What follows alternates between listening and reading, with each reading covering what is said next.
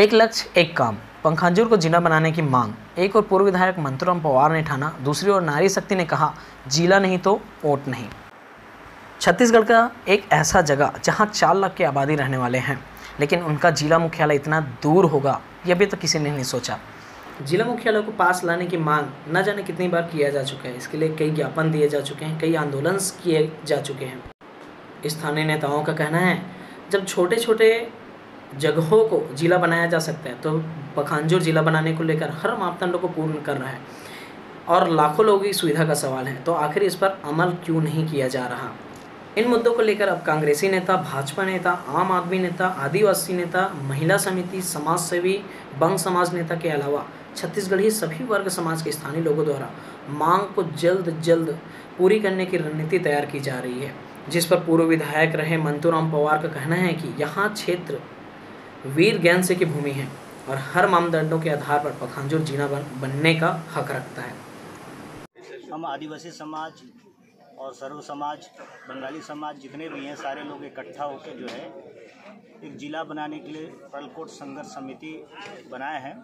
और इसमें हम जिला इसलिए बनाना चाह रहे हैं क्योंकि यहाँ पे बहुत सारी समस्या हैं। आदिवासियों की भी है, बंगालियों की भी है। जैसे पखानजूर से 35 किलोमीटर दूरी पे चितराम बसा हुआ है और यहाँ से पखानजूर से जो है इरपानार, कुरेनार पैंतीस किलोमीटर पे है अगर मिडिल पॉइंट पे है। और यहाँ से कांकेर की दूरी लगभग जो है, ओरछा से लेके कांकेर तक 200 किलोमीटर दूरी है। और ये दूरी की वजह से जो है यहाँ के आदिवासी बंगाली भाइयों को दिक्कत होती है बहुत समस्याएँ होती है गरीब लोग जा नहीं सकते हैं। इसीलिए हम चाहते हैं कि पखानजोर जिला बने और छोटी मोटी समस्याओं का ऐसे समाधान हो बड़े अधिकारी आगे आगे की रणनीति अभी तो गाँव गाँव जा रहे हैं जनता के साथ संपर्क कर रहे हैं लोगों का सहयोग ले रहे हैं और लोग संगठित होकर आगे मांग करेंगे और हस्ताक्षर अभियान भी चल रहा है। और बड़े पैमाने पे हम जो है लगभग चालीस पचास हज़ार लोग इकट्ठा होकर जो है एक आंदोलन मूवमेंट खड़ा करेंगे।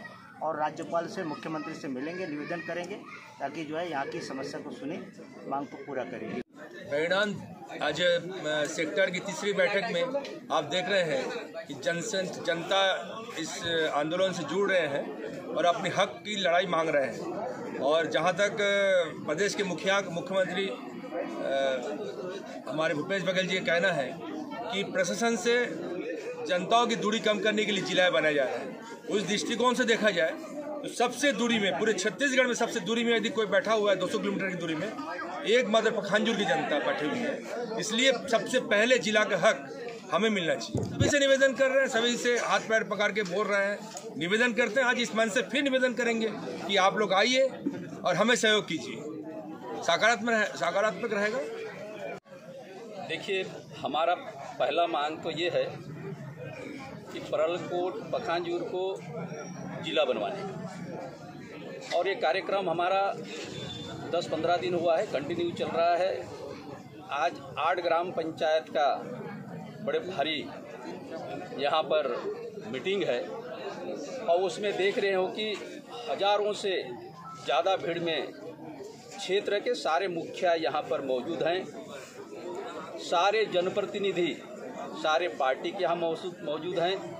सबका एक ही मांग है, एक ही डिमांड है कि क्षेत्रफल को देखते हुए, हमारी जनसंख्या को देखते हुए, और विशेष करके मैं राज्य सरकार और प्रदेश के मुख्यमंत्री से निवेदन करूँगा, मांग करूँगा कि छत्तीसगढ़ में प्रथम शहीद गेंद सिंह का यह जन्मभूमि है। उनका कर्मभूमि है। इसलिए उनका गेंद सिंह के शहीद के सम्मान देने के लिए पूरा जनता का मांग है कि पखांजूर परल परलकोट को शहीद गेंद सिंह के सम्मान के लिए पखांजूर को जिला बनाए। अब एक देखिए अंतागढ़ विधानसभा का केंद्र बिंदु है पखांजूर। जब जब भी चुनाव हुआ चाहे लोकसभा हो चाहे विधानसभा हो निर्णय यहीं से होता है। पर मैं उस मुद्दे में जाना नहीं चाहता क्योंकि सारे पार्टी के लोगों ने हमारे सदस्य पदाधिकारी ने यहाँ पर आकर जिला का समर्थन कर रहे हैं। पर यह ज़रूर कहूँगा कि पखानजूर को आज न कल जिला तो देना ही होगा और ये जब तक जिला नहीं होगा तब तक हमारा मांग हमारा देखिए जिला नहीं बनने वाला बात ही नहीं है। क्योंकि छत्तीसगढ़ तो 16 जिला था, आज बत्तीस जिला हुआ। हम लोग अविभाजित बस्तर में थे, मात्र एक जिला था, आज सात जिला हो गया। इसको देखते हुए मैं तो दावा के साथ कह सकता हूँ कि पखानजूर को आज न कल जिला बनाना ये क्षेत्र की विकास की सोच है, आज की जो सरकार है, सरकार ने छोटे से छोटे जगह जिला बना दिए। अभी मरवाही पेंड्रा गरौली को जो जिला बनाया, उसमें मात्र 222 गाँव है। और उसमें एक सौ सत्तर लाख जनसंख्या है। उसको भी जिला बना दिए। एक तो अंबिकापुर है, उसमें मात्र एक लाख चौबीस हज़ार जनसंख्या है। उसको भी जिला बना दिए। उसके बाद नारायणपुर जिला में एक लाख सैंतालीस हज़ार जनसंख्या है, सुकमा में एक लाख पंद्रह हज़ार जनसंख्या है। इतने छोटे छोटे जगह अगर जिला बना सकते हैं तो परोलकोट में तीन चार लाख के ऊपर जनसंख्या है करीब, और तीन सौ चार गाँव है। जहाँ तीन सौ चार गाँव को जिला बनाने के लिए ये शासन हिचक रहा है। तो मैं निवेदन करना चाहूँगा कि जनता जाग चुका है। अगर ये शासन जिला नहीं बनाएँगे तो जनता इसके आगे रणनीति बनाएँगे, हमारी संघर्ष समिति के पदाधिकारी बैठेंगे, और कड़ी से कड़ी कदम उठाना पड़ेगा। या तो बड़े उग्र आंदोलन भी करना पड़ेगा इस जिला के लिए। एक और- तो अब जनता चुनाव के सोच के लिए जिला नहीं बनाना चाहते हैं जनता अपने हित के सोचते हैं। चुनाव को हित चुनाव वाले सोचे जनता अपने हित सोचेंगे कि जिला होना चाहिए। जी, हम महिला लोगों को बहुत सारी असुविधाएँ होते हैं। जैसे कि हम महिलाएँ पुरुष लोग तो कैसे भी जा सकते हैं हमारे जिला में। तो हमारे जिला यहाँ से बहुत दूर है, लेकिन महिलाएँ जैसे हमारे लड़की, बहन लोग जो भी है, उनको बहुत सारा तकलीफ़ होता है जाने आने में। इसलिए वो वो लोग ज़्यादा पढ़ लिख भी नहीं पाते हैं। जैसे कि कॉलेज भी नहीं जा पाते हैं। कई असुविधा होते हैं उनको। इसलिए हम चाहते हैं कि हमारे यहाँ पर पखानजूर में जिला बने और हमारे नारी शक्ति का भी कुछ विकास हो।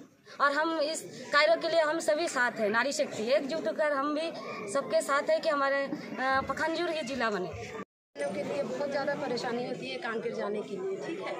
हम चाहते हैं पखानजूर जिला हो करके। और इसके लिए हमारी माता बहनें जितने भी है हमारे परनपुर के क्षेत्र के महिलाएँ, सब हम एकत्रित होकर लड़ना चाहते हैं इसके लिए। जहाँ तक जाना है हम जाएँगे। लेकिन जिला बनाते ही रहेंगे। कि हमने जिसके प्रति आशा किए है कि हम जिला बनाने के लिए पखानजूर में सहयोग करेंगे हमारे जो जनप्रतिनिधि है हम भी तो किसी से उम्मीद रखते हैं लेकिन आज वो हमारे बीच में नहीं है।